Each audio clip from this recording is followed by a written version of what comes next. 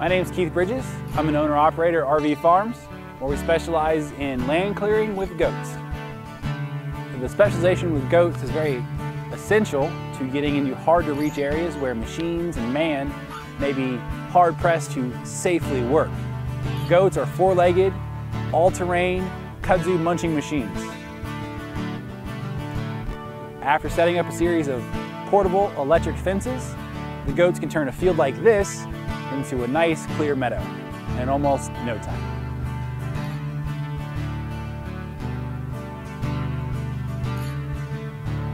RV Farms is veteran owned and operated. These goats have been on site for 48 hours and they've turned it from a knee-high kudzu patch to what you see before you, which is a place to mow and grow grass. Um, they've also cleaned out the understory of the uh, wood line. RV Farms was established in 2018. Um, I've had several years of experience raising goats prior to. I've always known that goats have a great propensity and ability to clear um, overgrown land.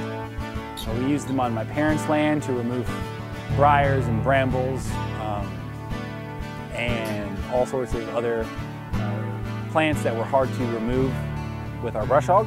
We have taken the goats to several historical sites in the area to include People Cemetery on Edgemoor Road. We use the goats there to remove several years of overgrowth in this, in, inside the cemetery and the surrounding area.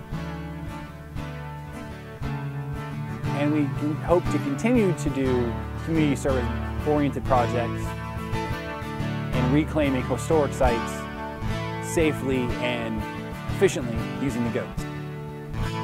If you're interested in seeing how our business can help you with your kudzu problem, feel free to contact us either via Facebook at RV Farms, on our YouTube channel, RV Farms, or on our website.